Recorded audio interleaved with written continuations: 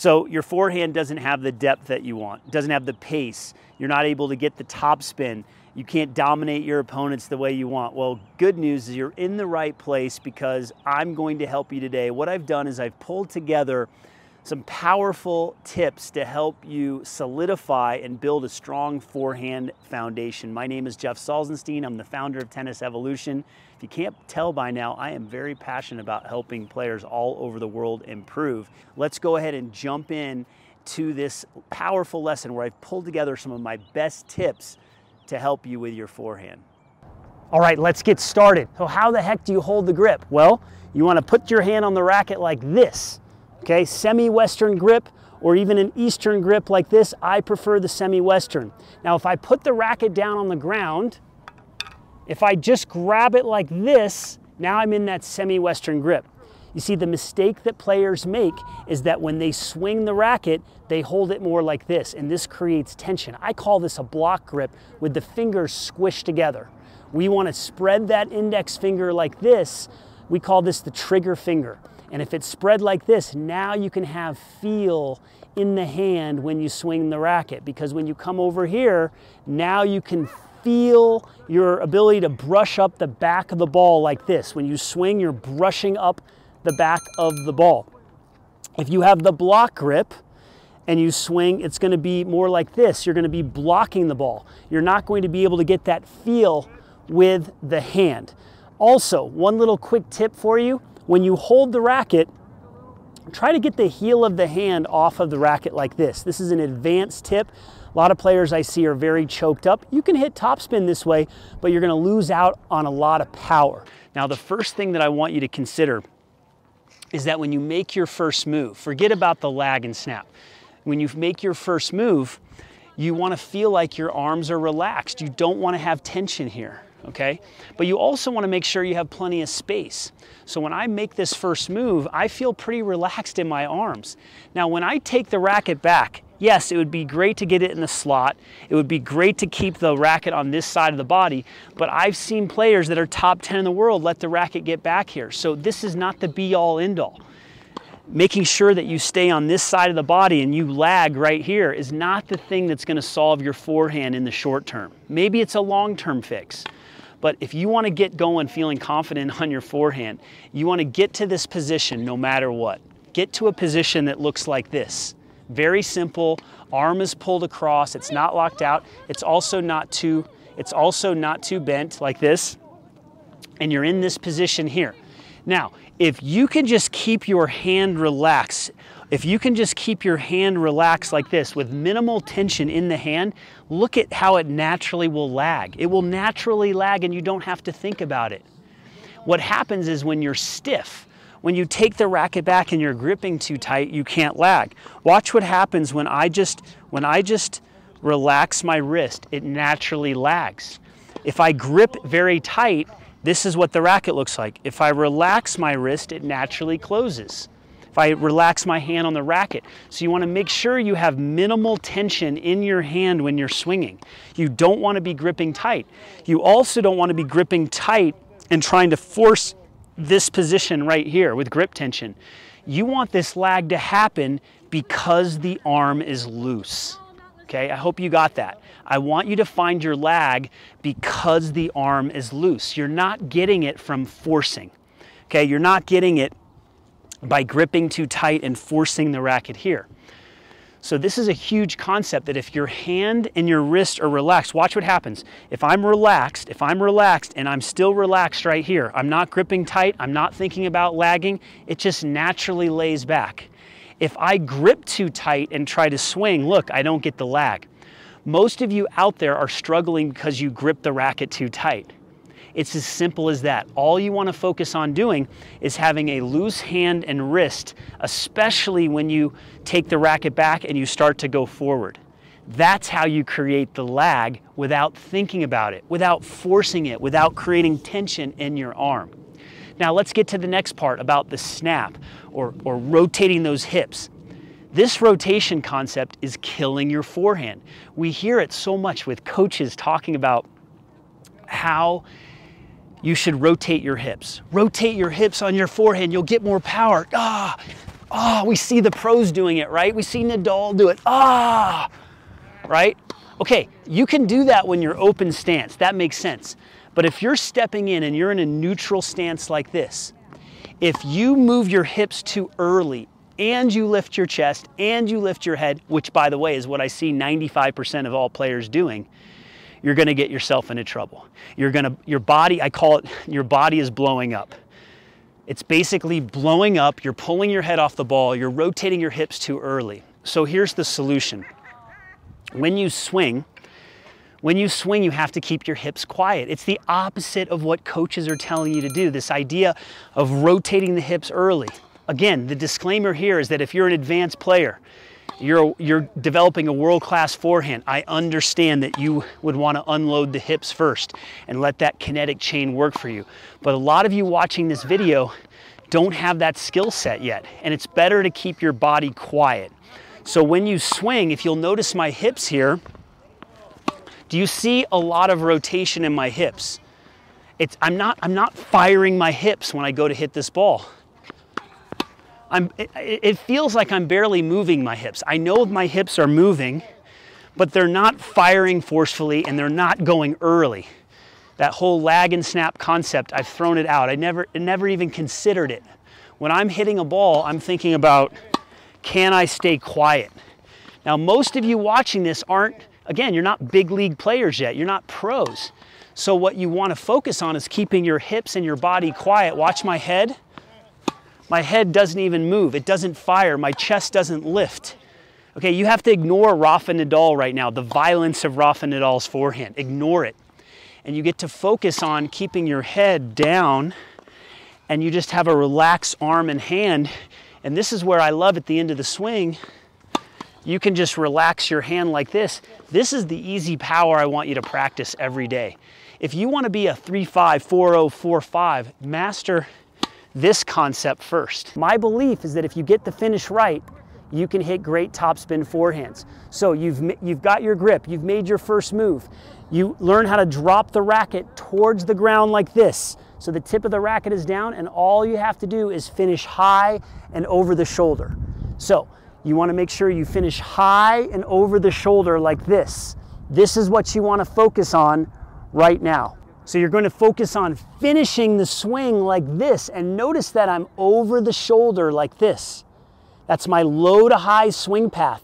And I'm focusing on what I call the wrist break. Now this is controversial, but give it a shot because a lot of players when they swing, when they finish like this, they don't break the wrist enough to get enough topspin. So you want to focus on that when you're swinging. So at the end of the swing, finish high over the shoulder and break the wrist. Well, let me actually start with a question. How do you get power? How do you get power, especially on your forehand side? Well, there's a couple of ways. The first way is to make sure that your body is relaxed, especially your arm and your hand. You have to have a relaxed arm and hand. But to get power, you also have to use the ground appropriately. If you use the ground inefficiently, you're going to lose power. Probably going to lose control. You might even start mishitting forehands because I'm going to explain in a moment. So for a basic forehand, when you're stepping into the ball, when you swing, you have to make sure that you push against the ground at the right time to get that easy power, to build that solid forehand. And what here's what I see players doing. When they get ready to swing, Maybe their front knee is bent a little bit. Okay, they're in position, they're in a neutral stance like this. As they go to swing, they straighten up. So before they make contact, they straighten their front leg. So all of the energy is gone. All of the energy from the ground, that ground to create that easy power where you push off, it's gone. It's gone away. It's been released. So players are getting excited and they're straightening this leg before contact. And now it's just all arm and their head and their chest have elevated above where they were just a fraction of a second earlier. So as you're tracking the ball coming in and you have a bent knee as you step in, if you straighten before contact, look at what my chest and my head did. It lifted up like this and there's probably a little bit of rotation too that's happening. So the key and the way you're gonna fix this, if you feel like you're popping up and your coach keeps saying, stop popping up, stop popping up, stop popping up, but you don't know how to fix it, here's one key that I wanna give you. When you swing, to exaggerate this, I want you to keep your front knee bent. This ball is in your strike zone. It's not a high ball. If the ball is high, okay, you have to straighten your leg sooner. But if the ball is in your strike zone and the knee is bent like this, keep it bent. Now you say, wait a minute, Jeff, I've studied your videos. You actually do straighten your leg. I'm gonna get to that in a moment.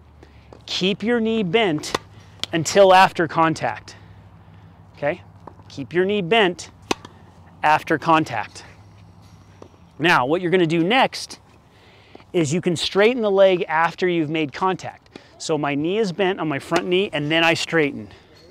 Knee is bent and then I straighten what's happening is you are straightening before contact. You are going early. That's this idea of rotating your hips early, of trying to get more power, manufacturing power. You want to practice swinging and then straightening. So if you have to delay the straightening of your leg, so be it. Exaggerate the bend and then the straighten. The bend, then the straighten. If you start straight, you're not going to be able to use the ground. If you bend and then you straighten before contact, you've released the energy before contact, so you can't release it into the ball. So make sure that your, your knee is bent when the ball is in strike zone, and then you swing, you're here, and then you can straighten up. Now, I've been able to work on this forehand long enough where as I'm swinging, I'm starting to straighten, but I haven't totally locked out yet. What I see players doing is I see them locking and even lifting up their heel like this. So they actually lock, they actually lock their leg and lift and then they make contact and that's what's throwing you off. I see this stuff right here, straighten before contact. Most of the time I see players really struggling here and they realize after I work with them and after I consult with them that they have got to figure out a strategy to train this part of the court okay? Stop spending so much time at the baseline when you're losing the bulk of your points in here, especially against very consistent players, people there that are called pushers. You have to get better in this part of the court. So today what I wanna talk about is when you get a ball that's uh, short, okay, it's in front of you here, and maybe you're moving off to the side a little bit okay? And I'll even give you an example of when the ball's in the middle. But I see a lot of players running up like this to grab a low ball. Maybe it's a drop shot, maybe it's a slice, maybe it just is dropping in front of them. And what I see is, I see a lot of players coming up and by the time they get to the ball, they're on their front foot. That's a big mistake. What you wanna practice doing is you wanna measure it so that you can get up to this foot right here, this outside leg. And as you swing, you'll be bringing this foot forward. So it's called, I call it a run through. You're not really running. It's a jog through or a walk through. So essentially what you wanna do is you wanna train yourself when you're moving at an angle for a low ball, you wanna get this outside leg in front of your body like this. And as you swing, you're going to step through. Most players are coming up, okay, they're coming up and they're on their front foot and they really, they don't have clarity around what to do on this shot. So let me move this up a little bit here for you. So they come up and they don't have any clarity with their footwork. Let me do that again, actually. They come up and they're on there. I can't even do it wrong. I've, I've done it so, so long uh, the correct way. You come up, front foot, oh, and you reach and it throws you off balance. There's a number of problems with this. One big problem is that when you're hitting off your front foot, you're gonna have a tendency to lunge, lunge at the ball like this, okay? Lunging is not good. We wanna have dynamic balance moving through the shot. So if I come up, you can see my body and my head stay very quiet. Watch my head and my body as I make this move. Now you say to me, Jeff, how do I practice this? I'm working, I'm hitting with someone, we're hitting ground strokes, I don't understand. How can I practice this? Look what I'm doing right now. I'm tossing the ball to myself until the footwork gets more natural. Okay? You make the, you make the footwork more natural and you get used to just jogging through the ball. from the outside foot to the inside foot. And you can just toss these balls to yourself. Record it on your phone and see if you it looks like mine. A lot of times again, a lot of players are on their front foot too early reaching for the ball. So one problem is reaching. What's another problem? When you get on your front foot, there's a tendency to turn sideways too much. Now your hips are blocked. So if you turn sideways running up to this ball and you're moving this direction, you're going to have a tendency to stay sideways. And when you do that, that can block your arm. So you can't really keep your hips open when you do that, right? Your hips are closed and you can't really maybe get the angle that you want. A lot of times you're gonna to want to hit a great angle on this shot. I see a lot of players when they hit, they're on their front foot and they just hit it straight down the middle and they get passed. But if you can lead with your outside leg, now it's easier to hit an angle because my hips are facing more, right? My hips, if I hit this ball off of this leg, look at my hips. They're facing the net more, and now I can steer the ball down the line or I can hit an angle.